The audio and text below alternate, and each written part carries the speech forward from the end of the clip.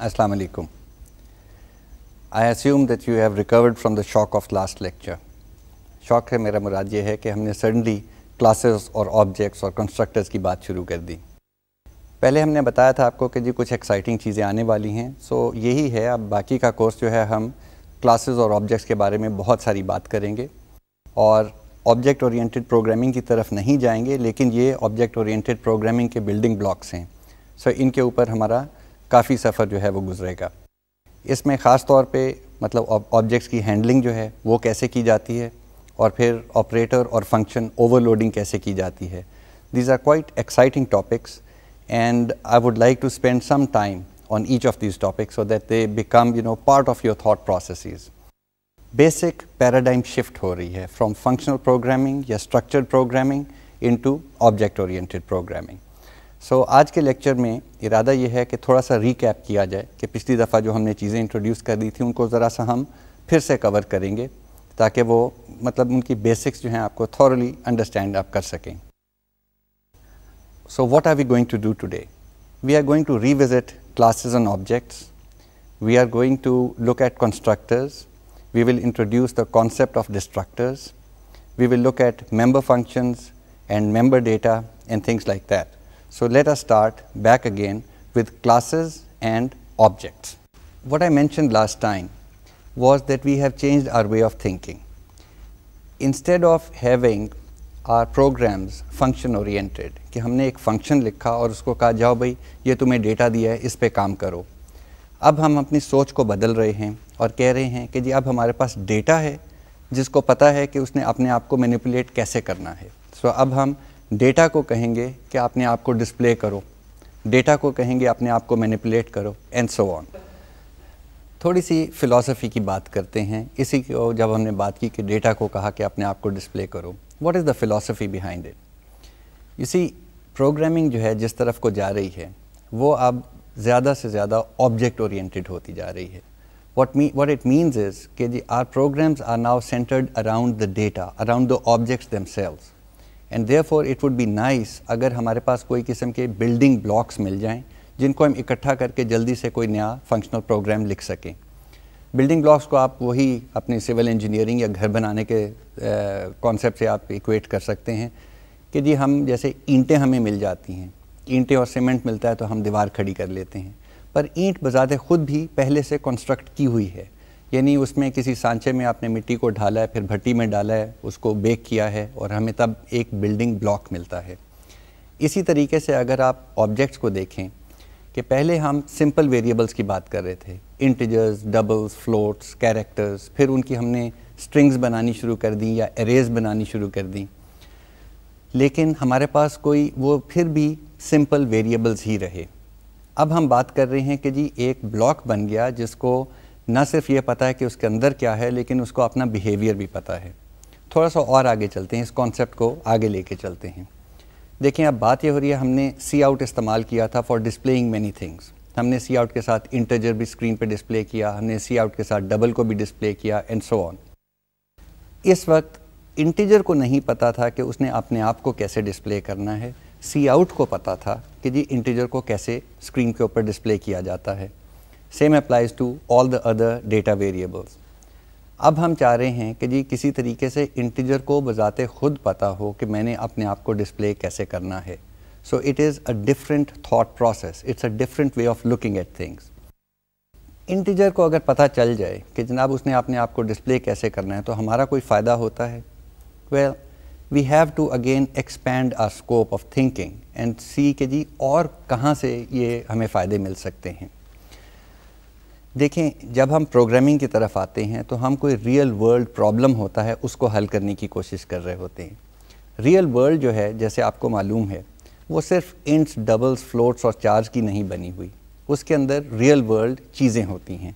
गाड़ियाँ होती हैं साइकिल होते हैं, लोग होते हैं बिल्डिंग होती है स्कूल होता है कॉलेज होता है, सड़कें होती हैं they everything if you think about it they are objects if they are objects each object has a behaviour associated with it अगर एक इंसान को लें तो वो बात भी कर सकता है, चल भी सकता है, उठ सकता है, बैठ सकता है, कपड़े पहनने उसको आते हैं and a multitude of other things गाड़ी को लें तो उसके अपने कुछ और फ़ंक्शंस हो जाते हैं।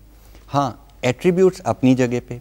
Again if you take a human being you talking of उसकी हाइट भी होगी, उसके, उसका वेट भी होगा, उसकी आँखों का रंग भी होगा, उसके बालों का रंग होगा एंड सो ऑन वो उसके एट्रीब्यूट्स हैं और उसके एक्शंस जो हैं, वो उसके फ़ंक्शंस या मेथड्स हैं। यानी वो करता क्या है? Same applies to vehicles same applies to aeroplanes यानी there are some things which are attributes जिनको हम डेटा मेंबर्स कह रहे हैं कि जी जहाज़ है तो हम कहेंगे उसकी ऊंचाई लंबाई क्या है, सीटें कितनी हैं, ठीक है ना, पहिए कितने हैं इंजन कितने हैं इंजन की हॉर्स पावर कितनी है। और अगर एक्शन की बात करेंगे तो जनाब वो टेक ऑफ़ भी कर सकता है और फिर हवा में उड़ भी सकता है, फिर उड़ने की उसकी कोई स्पीड भी है, वो टर्न भी कर सकता है। दीज आर ऑल फ़ंक्शंस अगर लैंग्वेज के हवाले से सोचें, हमारी रोज़मर्रा की टॉकिंग लैंग्वेज तो एक तरफ़ नाउन्स हैं और एक तरफ़ वर्ब्स हैं। वर्ब्स जो हैं, वो एक्शंस हैं। वो हमारी नई टर्मिनोलॉजी के अंदर हम उनको मेथड्स कहते हैं और वो हम कहते हैं कि जी ऑब्जेक्ट के अंदर किसी तरीके से इस तरह से शामिल किए जाएँ कि ऑब्जेक्ट को खुद ही पता हो कि जी मैंने इस फ़ंक्शन या इस बिहेवियर को कैसे अचीव करना है? Again if you think in terms of data तो डेटा को सोचें कि जनाब किस किस किस्म का डेटा हमें मैनिपुलेट करना पड़ता है। क्या is it always salaries and payrolls and amounts and numbers well actually data comes in more in different varieties and in many more varieties आजकल आपको पता है, आप जिन कंप्यूटर्स पे काम कर रहे हैं। They are normally multimedia equipped जब हमने मल्टीमीडिया की बात की तो हमने कहा जी multiple media what is it that we talking about we no longer talking about सिर्फ़ स्क्रीन के ऊपर लेटर्स और नंबर्स आते हैं। सो so, सिर्फ़ ए बी सी और वन टू थ्री स्क्रीन पे नहीं आता। आपको पता है तस्वीरें भी आती हैं। इमेजेस भी आती हैं विंडोज़ भी आती हैं डायलॉग बॉक्सेस भी आते हैं रंग आता है रोगन आता है so many things but not just that वो तो ग्राफिक्स है। That is just one type of medium so we have numbers and letters then we went on to graphics graphics से आगे चलें तो आपको पता है कि जी, ये जो हमारे लेक्चर्स हैं, ये भी सीडी पे मिल जाते हैं। अगर सीडी पे मिल जाते हैं तो सीडी हमने कंप्यूटर में डाली तो आपको एक मूवी चलती हुई नज़र भी आएगी। So you now seeing a video in motion on your computer screen it's another type of medium आप किसी तरीके से पिक्चर ऑफ़ कर दें तो आपको आवाज़ आ रही है लेक्चरर की। So that is audio audio is yet another type of medium if you think in terms of data तो सिर्फ़ वो अब नंबर्स और लेटर्स से हम बढ़ के पिक्चर्स और इमेजेस को शामिल कर चुके हैं और पिक्चर्स और इमेजेस को शामिल करके आगे चल के हम उसमें ऑडियो और वीडियो को भी ले आए हैं। So data has now expanded in scope अगर हम अब रिविज़िट करें उस स्टेटमेंट को कि मैंने कहा था कि जी integer go and display yourself उस वक्त तो उसकी ज़्यादा समझ नहीं आती थी, लेकिन अब हमने जब डेटा की स्कोप को बढ़ा दिया है now if you go and say audio go and play yourself which is the same in some sense कि जी इंटीजर डिस्प्ले योर सेल्फ तो डिस्प्ले जो है वो ऑडियो के लिए must be play something that we can hear idea is कि जी ऑडियो को पता हो कि उसने अपने आप को प्ले कैसे करना है रादर देन एक फ़ंक्शन लें और उसको कहीं, तुम्हें हम कोई डेटा देंगे which is an audio file और उसको तुम प्ले करना. The functionality into that class और into that object same applies to video video go play yourself और वीडियो को पता हो कि जी मैंने कैसे प्ले होना है स्क्रीन पे कितना बड़ा नज़र आना है, किस स्पीड से चलना है and so and so forth इसी फिलॉसफी को, इसी कॉन्सेप्ट को थोड़ा और आगे लेके चलते हैं। अभी that topic is advance but hopefully when we get to it in the data bases course you will understand कि वो भी एक तहरीक चल रही है या रिसर्च चल रही है कि जी true object oriented data bases बनाए जाएँ। Now what is meant by object oriented data bases at least my understanding वो ये है कि जनाब डेटाबेस के अंदर हम डेटा स्टोर करते हैं और फिर उसको रिट्रीव करते हैं और उसके ऊपर हम कई क्वेश्चंस पूछते हैं। मतलब कन्वेंशनल डेटाबेस अगर समझ लें कंपनी का है, वही हमने सारे उसके एम्प्लॉयज़ जो हैं, उनका डेटा डेटाबेस में स्टोर किया हुआ है। तो मैं ये पूछ सकता हूँ उससे क्वेश्चन डेटाबेस से कि मुझे उन सारे एम्प्लॉयज़ की लिस्ट दे दो जिनकी सैलरी जो है वो पाँच हज़ार रुपये से ज़्यादा है। सो वो एक लिस्ट दे देगा। तीन हज़ार और पाँच हज़ार के दरमियान उनकी सैलरी है उनकी लिस्ट दे दो। दस हज़ार से ज़्यादा की लिस्ट दे दो एंड सो ऑन और give me the list of employees who have been employed by the company for more than three years so we ask questions and the database management system basically sorts out those questions, gets the data and brings it back to us. अब सोचें कि जी database के अंदर यही numeric और character data हमने store नहीं किया हुआ। हमने इससे कहीं ज़्यादा चीज़ें स्टोर की हुई हैं। व्हाट हैपन्स अगर हमने ऑडियो फ़ाइल स्टोर की हुई हैं? ठीक, अब, अभी हम अगर उसको कॉन्सेप्ट बनाए तो हम कहेंगे, ठीक है जी, हमने ऑडियो फ़ाइल स्टोर कर दी और उसके साथ कुछ उसके एट्रीब्यूट्स भी स्टोर कर दिए। फॉर एग्ज़ाम्पल अगर हमने कोई गाना स्टोर किया है तो हम कहेंगे कि जी, गाने वाले का नाम हो शायर का नाम आ जाए बीच में फिर मे बी जो मौसीकी जिसने बनाई है, उसका नाम आ जाए, वो अलहदा से एट्रीब्यूट्स रख लें और फिर गाना भी रख लें लेकिन अभी तक हमारे पास ये सलाहियत नहीं है कि हम डेटाबेस को क्वेरी कर सकें कि जिस गाने के अंदर कोई ख़ास शेर आया हुआ है, वो गाना निकाल के हमें दो now the idea there is that we cannot dig into the audio file to find out whether a certain phrase or sentence or a verse is included in that song. The same applies to a movie suppose मेरे पास documentaries पड़ी हुई हैं बेतहाशा और मैंने database में डाल दी हैं। क्या मैं आज बैठ के डेटाबेस से ये क्वेरी कर सकता हूँ कि जी मुझे वो सारी डॉक्यूमेंट्रीज़ निकाल दो जिनके अंदर कायद अज़म की तस्वीर नज़र आती हो? Okay there is no way unless कोई पहले डॉक्यूमेंट्री को देखता और साथ उसके कोई एट्रीब्यूट्स टाइप करता कि presence of the Quaid Azam yes वो डाल दे तो फिर तो ऑर्डनरी डेटाबेस वाला काम हो जाता। हम जाना उस तरफ़ चाह रहे हैं कि जी हम सो कॉल्ड ऑब्जेक्ट्स को क्वेरी भी कर सकें। और सिर्फ़ क्वेरी ना कर सकें फिर उनको कहें कि वो तमाम डॉक्यूमेंट्रीज जिसमें फॉर एग्ज़ाम्पल कायद अज़म नज़र आते हैं उनको प्ले कर दो। और हमें कोई प्रोग्रामिंग ना करनी पड़े वो वीडियो या वो डॉक्यूमेंट्रीज जो डेटाबेस में पड़ी हुई हैं उनको पता हो कि जी हमने प्ले कैसे होना है और वो आके प्ले हो जाएँ। सो so, ये एक रिसर्च का डायरेक्शन है जिस तरफ़ पूरे ये ट्रेंड जा रही है। सो so, हम जो ऑब्जेक्ट ओरिएंटेड प्रोग्रामिंग की बात करते हैं या क्लासेस की जिनसे हमने शुरू किया है तो ये सोच लें कि जी ये सड़क जा किस तरफ़ को रही है। For the moment let a step back into our definition of classes objects and constructors class मैंने पिछली दफ़ा अर्ज़ किया था is a way of defining a user defined data type यानी हमने एक नई डेटा टाइप तख्लीक की है। और क्लास के अंदर हमने ये भी बात की थी कि उसके अंदर डेटा मेंबर्स भी होते हैं, यानी डेटा, वही स्ट्रक्चर्स जिनकी हम बात करते रहे हैं। लेकिन सिर्फ़ डेटा मेंबर्स नहीं होते, उसके अलावा वो फ़ंक्शंस या वो मेथड्स भी होते हैं जिनके साथ हम उस डेटा को मैनिपुलेट कर सकते हैं। उसके बाद हमने बात की थी the concept of data hiding यानी एनकैप्सुलेशन कि क्लास के अंदर जो डेटा है, वो उसको हम बाहर से हाथ ना लगा सकें लेकिन एक डिफाइंड दरवाजे के थ्रू एक डिफाइंड सेट ऑफ़ फ़ंक्शंस या मेथड्स के थ्रू ही हम उस डेटा को मैनिपुलेट कर सकें। Those are the member functions और डेटा को हाइड करने के लिए हमने कहा था, उसको हम प्राइवेट डिक्लेयर कर देते हैं।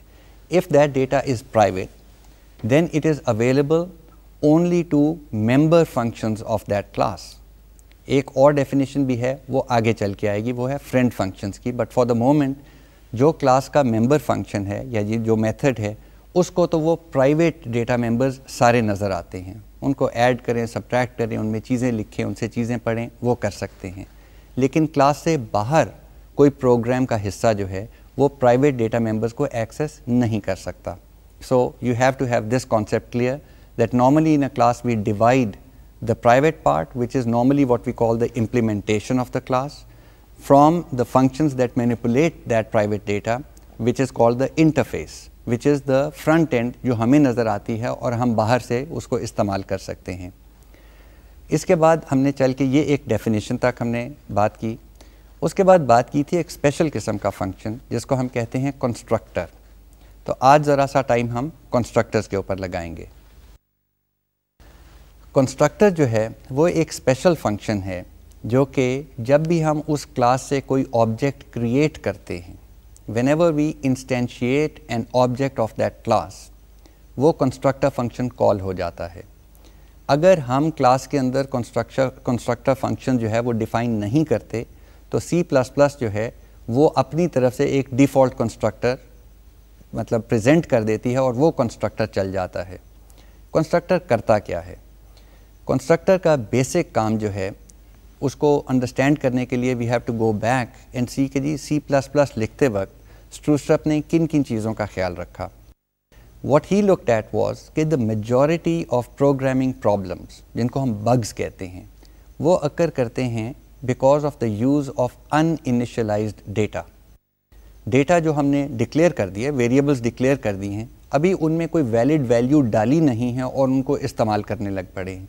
यानी हमने एक इंट आई डिक्लेयर कर दिया और कहीं पे i इक्वल टू ज़ीरो या i इक्वल टू फाइव नहीं कहा और नीचे जाके कह दिया j is equal to two multiplied by i now that is using an uninitialised data variable which is bad news syntax में कोई एरर नहीं है, लेकिन जब हम लॉजिकली प्रोग्राम को देखेंगे तो सर पकड़ के बैठ जाते हैं कि जी गलती हो रही है, लेकिन कहाँ हो रही है?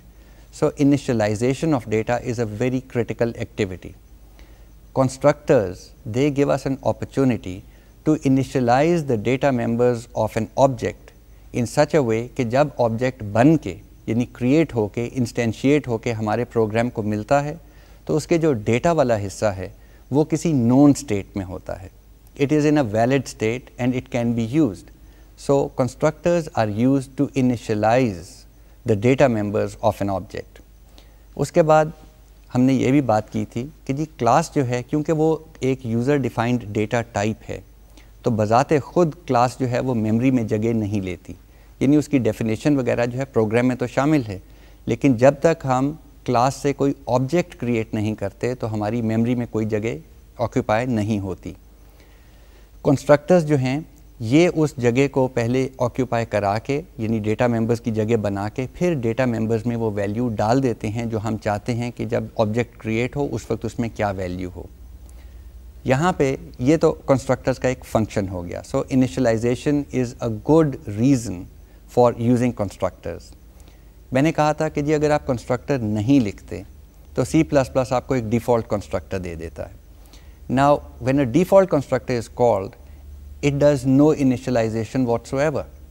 उसको नहीं पता कि जी मैंने वो इंटीजर एज जो था, उसमें कोई वैल्यू डालनी है कि नहीं, या हम अपनी पिछले लेक्चर वाली क्लास लेके चलते हैं डेट वाली तो डे में या मंथ में या ईयर में कोई वैल्यूज़ डालनी है कि नहीं? वो अपना डिफ़ॉल्ट काम करके आ जाएगा। In other words the default constructor provided by the compiler does no initialisation for you so you have to be very careful and very careful का एक बड़ा सिंपल हल है। वो ये है कि जी कोई क्लास आप लिखें ही ना जिसमें आपने ख़ुद कोई कंस्ट्रक्टर प्रोवाइड ना किया हो। अगर आप कंस्ट्रक्टर प्रोवाइड कर देंगे तो then normally when you create an object from that class that constructor will be called but there is a caveat I also mention last time कि जी एक किस्म का कंस्ट्रक्टर नहीं है। आप कई किस्म के कंस्ट्रक्टर्स डिफ़ाइन कर सकते हैं एक ही क्लास के लिए।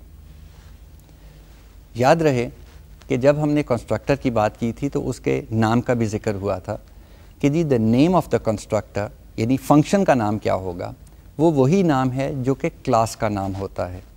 कंस्ट्रक्टर की कोई रिटर्न टाइप नहीं होती। It does not return anything not even void which means कि कंस्ट्रक्टर फ़ंक्शन जब लिखेंगे तो उसके अंदर कोई रिटर्न स्टेटमेंट नहीं हो सकती। इस चीज़ का खास खास ख्याल रखिएगा।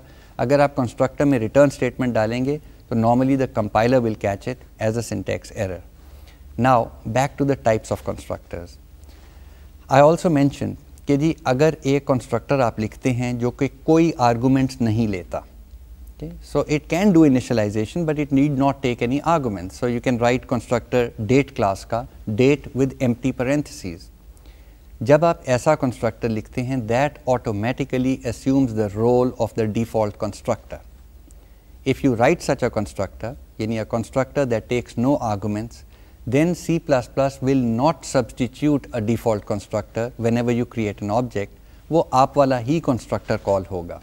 So, think about it कि जब भी आप क्लास बनाएँ जहाँ पे मैंने कहा जी constructor प्रोवाइड करना is good programming practice, it is also good programming practice to provide a default constructor और constructor का again वो concept आप सामने रखें कि मेन पर्पस जो है, वो है ऑब्जेक्ट को इस तरीके से इनिशलाइज किया जाए कि it is in a known valid state so in our case for example हमने डेट क्लास ली और उसका कहा कि जी तीन मेंबर उसके डेटा वेरिएबल्स हैं। Integer month integer day integer year they are all ints you don't have a fraction of a day अगर वो वेरिएबल्स हैं तो इसको बाय डिफ़ॉल्ट अगर हम एक डेट का ऑब्जेक्ट बनाएँगे तो क्या वैल्यूज़ देंगे? Now as an imaginative programmer you can decide कि जी ओके मैंने अपनी बर्थ डेट ही डालनी है बीच में। डाल लें। लेकिन क्योंकि वो डेट ऑब्जेक्ट है, वो किसी और ने भी इस्तेमाल करना है, आप कुछ इस किस्म का करेंगे कि जी, इसको day one month one year one या कुछ ऐसी इनिशलाइजेशन दे देंगे, जो कि एक नॉन स्टेट होगी मे बी उसका मतलब कुछ ना हो। Nonetheless we don't have to provide only one constructor we can provide more how do we provide more I mention last time we use function overloading और फ़ंक्शन ओवरलोडिंग का आपको याद होगा, कुछ उसके रूल्स हैं। रूल्स ये हैं कि जब भी हम फ़ंक्शन को ओवरलोड करना चाहते हैं तो फ़ंक्शन का नाम तो वही रहता है, लेकिन उसकी आर्गूमेंट लिस्ट बदलती है। और आर्गूमेंट लिस्ट जो है, उसको बदलने के भी दो तरीके हैं। It can either vary in the number of the arguments और it can vary in the type you cannot have two functions with the same number and type of arguments and assume that they will be different. Then they are identical. That is not overloading. Overloading requires that the argument list be different. वही argument जो है या rather वही जो concept है वो constructors पे apply होता है so if we supply more than one constructor for a class we can call one और दी अदर डिपेंडिंग ऑन कि जी हम किस तरीके से उसको कॉल कर रहे हैं So जहाँ पे डेट के लिए हमने एक डिफ़ॉल्ट कंस्ट्रक्टर प्रोवाइड किया कि जी इसको कोई चीज़ पास नहीं करेंगे तो ये मंथ डे और ईयर की ना कोई एक ख़ास डिफ़ॉल्ट वैल्यू सेट कर देगा। तो वहाँ पे मैंने एग्ज़ाम्पल को एक्सपेंड करते हुए पिछली दफ़ा भी बात की थी कि जी हम इसको तीन इंटीजर्स भी पास कर सकते हैं। So let's write another constructor which takes int month int day and int year as the arguments and then goes in and puts these values into the data members of the object that is being created. Now, question is, when does it happen? What happens is, कि जब आप एक object को instantiate करते हैं, आप अपने programme में डिक्लेयर करते हैं डेट माई डेट जब ये लाइन एक्सिक्यूट होती है प्रोग्राम जब हम चलाते हैं तो सबसे पहले माई डेट के लिए कुछ जगह मेमोरी में रिज़र्व हो जाती है वो जगह कैसे रिज़र्व होती है, उसकी भी अभी बात करते हैं जब जगह रिज़र्व हो गई तो उसके अंदर मंथ डे और ईयर के लिए तीन इंटीजर वेरिएबल्स की भी जगह आ गई। उसके बाद कंट्रोल जो है वो कंस्ट्रक्टर के अंदर चला जाता है कि जी जगह बन गई है कंस्ट्रक्टर क्या करना चाहते हो? Constructor then if this is a parameterise constructor और इसको हमने कुछ वैल्यूज़ पास की हैं तो अब जाके ये मंथ डे और ईयर में वो वैल्यूज़ असाइन कर देगा और फिर बाहर आ जाएगा। Remember no return statement no return type for the constructor can the constructor write values in these data members data members were private answer is yes it can because the constructor is a member of the class if it is a member of the class तो उसको class की हर चीज़ नज़र आती है। आप इस तरह से समझ लें, तस्वुर कर लें कि जी, एक कमरा है, उसके दरमियान में एक पतला सा पर्दा टंगा हुआ है। पर्दे के पीछे जो चीज़ें हैं, वो कमरे के अंदर जो मकीम लोग हैं उनको तो नज़र आती हैं उनको पता है कि कमरे के अंदर क्या क्या चीज़ है। लेकिन सामने जो दरवाज़ा जब खुलता है तो बाहर से लोगों को जो चीज़ नज़र आती है वो ये है जो पर्दे से आगे चीज़ें बैठी होती सो so, पर्दे से आगे is the public interface of the class पर्दे के पीछे is the private interface if the person inside the class यानी द फ़ंक्शन और इज़ अ मेंबर फ़ंक्शन तो मेंबर फ़ंक्शन के लिए सारे कमरे में जितनी चीज़ें हैं वो मैनिपुलेट करने की इजाज़त है। लेकिन if you are not a member and you are an outsider then you can only touch see manipulate और कॉल द पब्लिक इंटरफेस वाले methods you cannot look behind the screen so keep that concept in mind अब मैंने कहा कि जी constructor जो है, वो तो डेटा मेंबर्स को मैनिपुलेट कर लेता है। तो कंस्ट्रक्टर खुद जो है, उसको सोचें कि वो पर्दे के पीछे होगा कि पर्दे के आगे। Answer is fairly obvious a constructor has to be in the public section of the class it has to be a public interface जो कि बाहर से कॉल हो सके। वो इस वास्ते कि जब भी हमने ऑब्जेक्ट क्रिएट करना है तो ऑब्जेक्ट तो हमारा प्रोग्राम क्रिएट कर रहा है। So program should be able to call the constructor keep that in mind constructors are always placed in the public interface of the class उसके बाद हमने बात की थी डिफ़ॉल्ट आर्गूमेंट्स की। पहले हमने इंट्रोड्यूस किया था कि जी सी प्लस प्लस के अंदर हम फ़ंक्शंस को डिफ़ॉल्ट आर्गूमेंट्स दे सकते हैं। Since the constructor is just another function it can also take default arguments इस चीज़ का ख्याल आपको रखना चाहिए कि अगर कोई आप कंस्ट्रक्टर प्रोवाइड करते हैं, जिसके सारे आर्गूमेंट्स को डिफ़ॉल्ट वैल्यूज़ दी हुई हैं so in our case date का अगर ले लें, अगर मैं कहूँ कि int month equal to one comma int day equal to one comma int year equal to one ये आर्गूमेंट लिस्ट है पैरामीटराइज कंस्ट्रक्टर की। तो मैंने तीनों डेटा मेंबर्स के लिए डिफ़ॉल्ट वैल्यू दे रखी है। अगर ये डिफ़ॉल्ट वैल्यू दे दी और मैं प्रोग्राम में जाके कहूँ डेट माई डेट यानी create an object of type date कौन सा कंस्ट्रक्टर कॉल होगा? मैंने डेट के आगे कुछ नहीं लिखा, मैंने कोई वैल्यूज़ पास नहीं की, मैंने कहा my date is an object of type date what will happen is think about it कि जी अब default constructor without any arguments call होना चाहिए या वो कंस्ट्रक्टर कॉल होना चाहिए जो पैरामीटराइज तो है लेकिन हर पैरामीटर के लिए आपने एक डिफ़ॉल्ट वैल्यू दे रखी है confusing isn't it because of that confusion if you provide a constructor which has default values for all arguments then that becomes the default constructor for the class That means अब ये दो constructor नहीं हो सकते, वो एक ही जैसे गिने जाएँगे so you better not write date with empty parenthesis अगर आपने ऐसा फुली क्वालिफाइड कंस्ट्रक्टर दे दिया। लेकिन ओवरलोडिंग की तरफ़ चलते हैं। हमने कहा कि जी, अगर डेट को मैं कैरेक्टर स्ट्रिंग पास करूँ और चाहूँ कि जी हमारा डेट ऑब्जेक्ट फिर भी प्रॉपरली इनिशलाइज हो जाए तो क्या ऐसा कंस्ट्रक्टर लिखा जा सकता है? Well by now you know that there are many string manipulation functions that you have available string dot h class के अंदर प्लस में ऑफकोर्स हम स्ट्रिंग क्लास भी लेके आएँगे, वो उसकी ज़्यादा पावर है. लेकिन for the moment think about it that we can now pass a character string जिसमें अंग्रेज़ी की तरह हम डेट लिख के भेज दें. हम लिख देते हैं zero one dash Jan J A N dash two thousand और वो कंस्ट्रक्टर अंदर जाके उस स्ट्रिंग के टुकड़े टुकड़े करके अप्रोप्रिएट नंबर्स लेके वो इंट मंथ और इंट डे और इंट ईयर के अंदर शामिल कर देगा ऑब्जेक्ट हमारा इनिशलाइज हो जाएगा।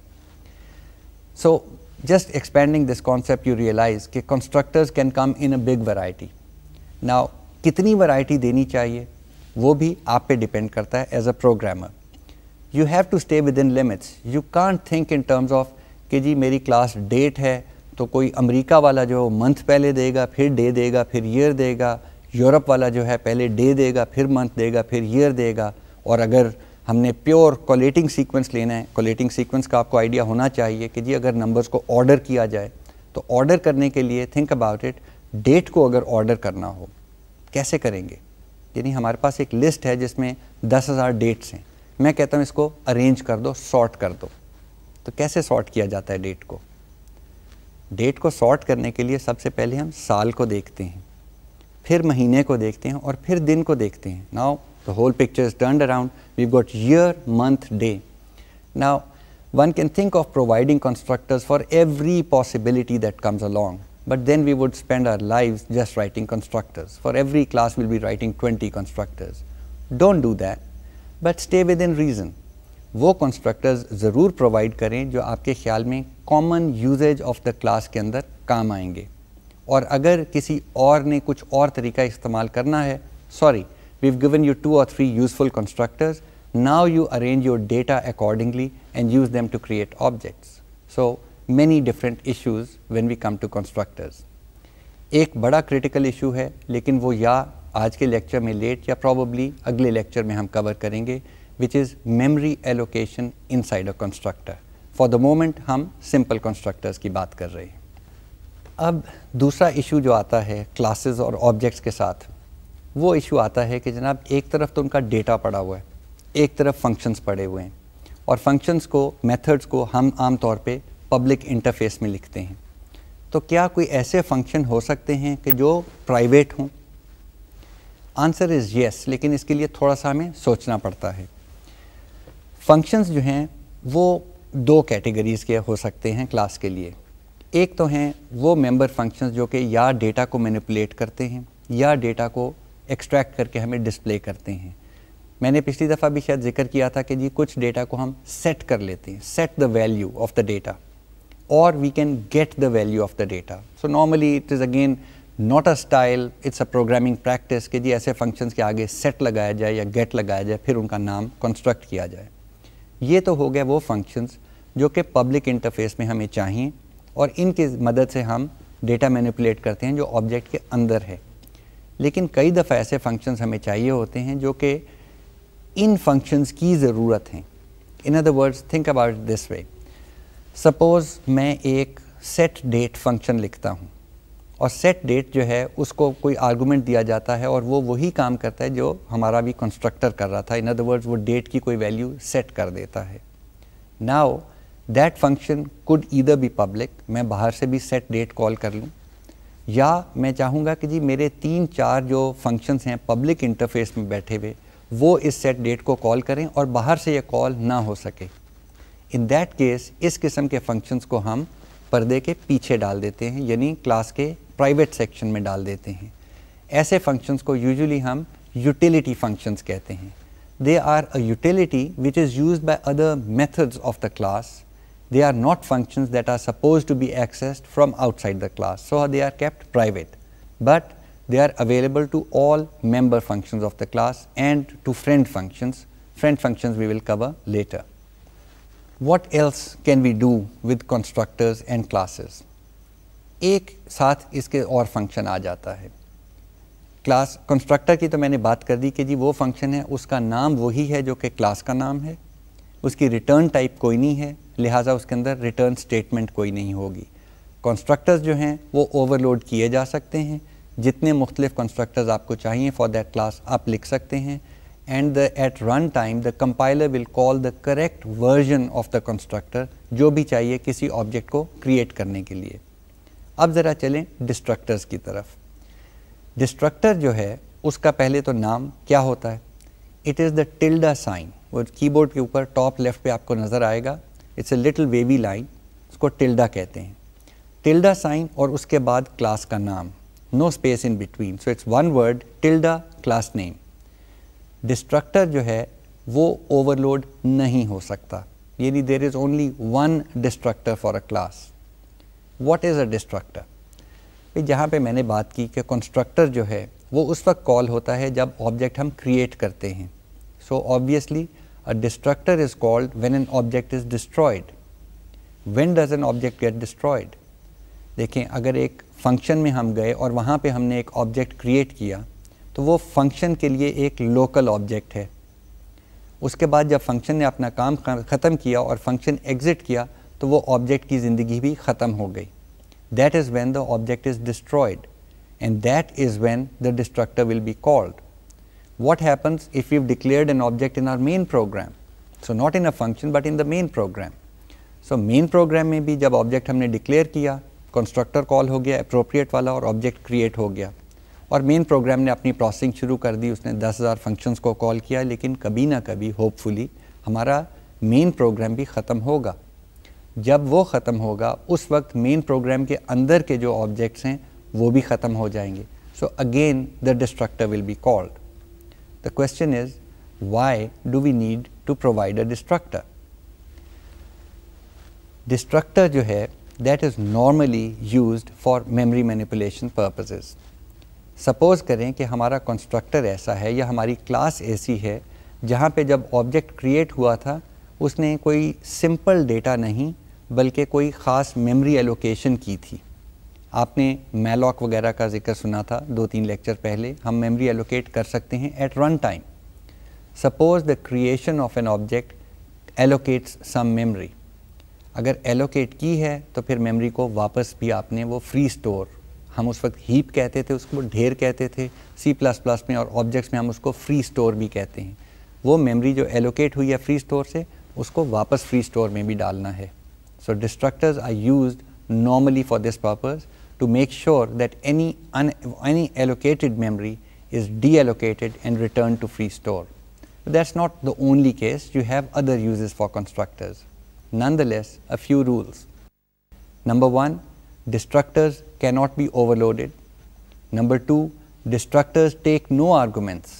उनको कोई चीज़ पास नहीं की जा सकती And they don't return a value. So, again they don't have a return type and therefore, they don't have a return statement inside the destructor. चलें अब अपनी डेट क्लास जो है उसको थोड़ा सा एक्सपेंड करते हैं let us take a look at what else we can put in it we have put in a constructor और कंस्ट्रक्टर के साथ हमने एक पैरामीटराइज कंस्ट्रक्टर भी दे दिया है उसको डिफ़ॉल्ट आर्गूमेंट्स नहीं दिए ताकि एक विदाउट पैरामीटर्स हो यानी वो डिफ़ॉल्ट कंस्ट्रक्टर बने और एक हो जिसको हम तीनों मंथ डे और ईयर की वैल्यूज़ पास कर सकें। और हमने एक डिस्ट्रक्टर भी प्रोवाइड किया है, लेकिन वो सिंपल इस वक्त जो है, वो हमारी कुछ प्रोग्रामिंग के लिए अभी मैं उसका ज़िक्र करता हूँ। और फिर हमने कुछ उसके हेल्पर फ़ंक्शंस लिखे हैं, जो कि मेथड्स हैं मंथ को सेट करने के लिए, या डे को सेट करने के लिए, या ईयर को सेट करने के लिए। और उनका नाम हमने set day set month set year यही रखा है। Each one of them takes only one parameter a single integer उसके बाद हमने गेट फ़ंक्शंस भी लिख दिए हैं। So get day get month get year भी जो हैं they return a simple integer one returns one sets और एक फ़ंक्शन मैंने डाल दिया है सेट डेट का, जो कि तीनों पैरामीटर्स लेता हो और उसको सेट कर दे। सेट फ़ंक्शंस के अंदर नॉर्मली जो हम काम कर रहे होते हैं it is not simply an assignment of a value to a data member वो करना होता तो हम डेटा मेंबर को पब्लिक बना देते और बाहर से सेट कर लेते। द आइडिया इज़ कि whenever we put data into an object तो उसको थोड़ा सा साफ़ कर लें। I mean make sure that valid values go in there same applies to a constructor same applies to all of these set functions including set date what we do is we make sure कि जी valid values जो हैं, वो जाके data members के अंदर store हों। तो अगर आप फॉर एग्ज़ाम्पल कॉल कर लेते कि जी डेट माई डेट और फिर उसको तीन वैल्यूज़ आप दे दें। डे के लिए आप दे दें 35 मंथ के लिए आप दे दें 13 ईयर के लिए आप दे दें 2000 तो कंस्ट्रक्टर को क्या करना चाहिए? Now there is no one answer you have to decide what the answer is but certainly एक आंसर नहीं है। वो ये कि जी डे की वैल्यू को 35 सेट कर दें मंथ की वैल्यू को 13 सेट कर दें और ईयर की वैल्यू को 2000 you do not want to set the day and the month in this example to invalid values हमें पता है कि जी महीना जो है वो डे वन से शुरू होता है। Number of days in a month varies Gregorian calendar है, कहीं इकतीस है, कहीं तीस है। फेबररी में कभी 28 दिन होते हैं, कभी उनतीस दिन होते हैं। ईयर की वैल्यू कुछ भी हो सकती है। सो हम चाहेंगे कि कम अज़ कम डे और मंथ की वैल्यूज़ को वैलिडेट किया जाए, साफ़ किया जाए, धो लिया जाए make sure they are proper before assigning them to the data data members यही काम हम कंस्ट्रक्टर में भी करते हैं। यही काम इन दिस पर्टिकुलर केस हम सेट डेट फ़ंक्शन में भी करेंगे। तो सोचने की बात यह है कि अगर हमने यही काम करना है तो कंस्ट्रक्टर के हम अलहदा कोड लिखें कि जनाब if is less than one then day is equal to one if day is greater than whatever the number of days in that month then it is equal to the number of days in the month यानी अगर हमने पैंतीस कह दिया है day की value है और महीना जनवरी है तो उसको 35 ना सेट करो, उसको 31 पे सेट कर दो बिकॉज़ जनवरी का मैक्सिमम डे नंबर इज़ 31 या हम उसको फिर वन कर देंगे that is our decision but we have to bring it within a valid range but what I was talking about was कि कंस्ट्रक्टर में ये सारे इफ़ स्टेटमेंट्स और चेक्स लगा के हम डेटा को साफ़ करके डेटा मेंबर्स में डाल देते हैं। साथ हमने एक फ़ंक्शन भी प्रोवाइड किया है सेट डेट का। और अगर हमने वो फ़ंक्शन लिख दिया है पब्लिक सेक्शन में तो बाहर से भी हम लिख सकते हैं my date dot set date और फिर आगे तीन इंटीजर्स दे दें again representing day month and year set date must follow essentially the same logic and the same tests and the same data cleaning that the constructor did. Should we write the same code again? As a member, as a मतलब good programming practice, the idea is कि अगर हमने एक ही किस्म का code लिखना है जो एक ही काम करता है तो फिर उसको एक मरतबा लिखा जाए यहाँ पे आप ये पूछ सकते हैं कि जी वो एक मरतबा कंस्ट्रक्टर में लिखनी चाहिए कि सेट डेट फंक्शन में लिखना चाहिए the answer is you should write it in the set date function and let the constructor call this function उसकी वजह यह है कि जी सेट डेट जो है वो तो कंस्ट्रक्टर को कॉल करने से रहा okay but a constructor can call any member function in fact it can call any function which is outside the class also because they are also visible. In this case, we will put all of our error checking into the set date function and let the constructor call the set date with the same arguments that were passed to it when we tried to create an object. हाँ वो arguments pass कैसे किए जाते हैं Again, very simple. अगर हमारे पास constructor है इसी डेट का और वो तीन इंटीजर आर्गूमेंट्स लेता है तो प्रोग्राम के अंदर हम लिखते हैं डेट फिर लिखते हैं माई डेट या जो भी हमने नाम देना है उस ऑब्जेक्ट को, और उसके बाद पेरेंथिस के अंदर हम तीन इंटीजर्स दे देते हैं exactly like an ordinary function call what happens is ये आर्गूमेंट्स जो हैं, ये कंस्ट्रक्टर को पास हो जाते हैं। और कंस्ट्रक्टर उनके साथ जो मर्ज़ी करना चाहे इन दिस केस वो सेट डेट फ़ंक्शन को कॉल कर दे और इनकी वैल्यू सेट डेट को भेज दे।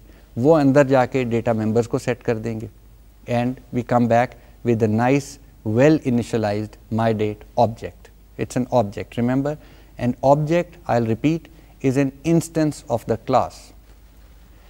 When we say it's an instance that means कि जी, अब वो एग्जिस्ट करता है और memory में जगह लेता है। सो so, memory में कितनी जगह लेता है? What happens when we create an object देखें, जब हम क्लास डिफाइन करते हैं तो अब तक आपको यह आइडिया हो गया कि क्लास में डेटा भी है और मेथड्स भी हैं। तो क्या वो मेथड्स हर ऑब्जेक्ट के लिए रिप्रोड्यूस होते हैं? डेटा तो लाजमी बात है कि हर ऑब्जेक्ट का अपना अपना होना चाहिए। क्योंकि हर ऑब्जेक्ट जो है डिस्टिंक्ट है। I say date date one, date two, date three, and so on. तो डेट वन एक और ऑब्जेक्ट है, डेट टू एक और ऑब्जेक्ट है, डेट थ्री एक तीसरा ऑब्जेक्ट है, और हर एक की डेट वैल्यू जो है वो डिफरेंट है। So they are distinct therefore they must have distinct memory locations What about the functions inside that class? What about the set date function, the set month function and so on? वो तो methods हैं तो अगर आप memory की तस्वीर देखें तो जब भी क्लास से हम एक ऑब्जेक्ट बनाते हैं तो एक जगह पे फ़ंक्शंस जो हैं वो मेमोरी में चले जाते हैं they stay in memory but only one copy of these functions stays in memory. The data part of the class that gets individual locations in memory. So अगर हमने तीन डेट के ऑब्जेक्ट्स क्रिएट किए तो चलते वक्त जब हमारा प्रोग्राम चल रहा होगा तो मेमोरी के अंदर फ़ंक्शंस की एक कॉपी होगी और डेटा की तीन मुख्तलिफ़ जगहों पे स्पेस एलोकेटेड होगी और उसमें वैल्यूज़ डिफरेंट होंगी। So how does the program figure out कि जी डेट वन के लिए फ़ंक्शन जो कॉल करना है, वो डेट वन के ही डेटा को चेंज करे डेट टू के डेटा को चेंज ना करे। रिमेंबर कि अंदर तो क्लास के अंदर सब वेरिएबल्स के नाम एक ही हैं। डेट वन के अंदर भी डे है मंथ है ईयर है। डेट टू के अंदर भी डे है मंथ है ईयर है and date three has the same structure so if I call the set month function and I say month की वैल्यू थ्री कर दो, अब मैं किस तरह से कॉल करूँ ताकि डेट वन की मंथ की वैल्यू जो है वो थ्री हो जाए डेट टू और डेट थ्री को कुछ ना हो? Well it's quite simple actually what you do is you use the dot operator, use the name of the object and the method that you want to call. So, in this case we will call date 1 dot set month parentheses 3. हो क्या रहा है कि वो जो एक common copy functions की memory में पड़ी हुई है कंपाइल्ड उनमें से सेट मंथ फंक्शन कॉल होगा लेकिन साथ डेट वन उसको कॉल कर रहा है so date one is an object so when it calls a member function इस ऑब्जेक्ट के जो डेटा मेंबर्स हैं वो उस फ़ंक्शन को नज़र आते हैं। सो so, जब भी हम मंथ की वैल्यू थ्री करेंगे तो डेट वन के मंथ की वैल्यू थ्री हो जाएगी। डेट टू और डेट थ्री तो कहीं और बैठे हुए हैं। इसी तरीके से अगर मैं कहूँगा date two dot set day twenty three तो डेट टू वाला जो ऑब्जेक्ट है वो सेट डे फ़ंक्शन को नज़र आएगा। और जब वो अपने फ़ंक्शन के अंदर लिखेगा कि जी day is equal to twenty three तो कौन सा डे है? ये वो डेटा मेंबर है जो डेट टू के हिस्से में आया। Not the day day data member जो कि डेट वन में था या डेट थ्री में था। So it is actually quite easy to resolve जो ऑब्जेक्ट फ़ंक्शन को कॉल करता है, उस ऑब्जेक्ट का डेटा फ़ंक्शन को नज़र आता है। So we have not wasted any memory by making a separate copy of the functions for every object that we create all objects of one class share the common functions.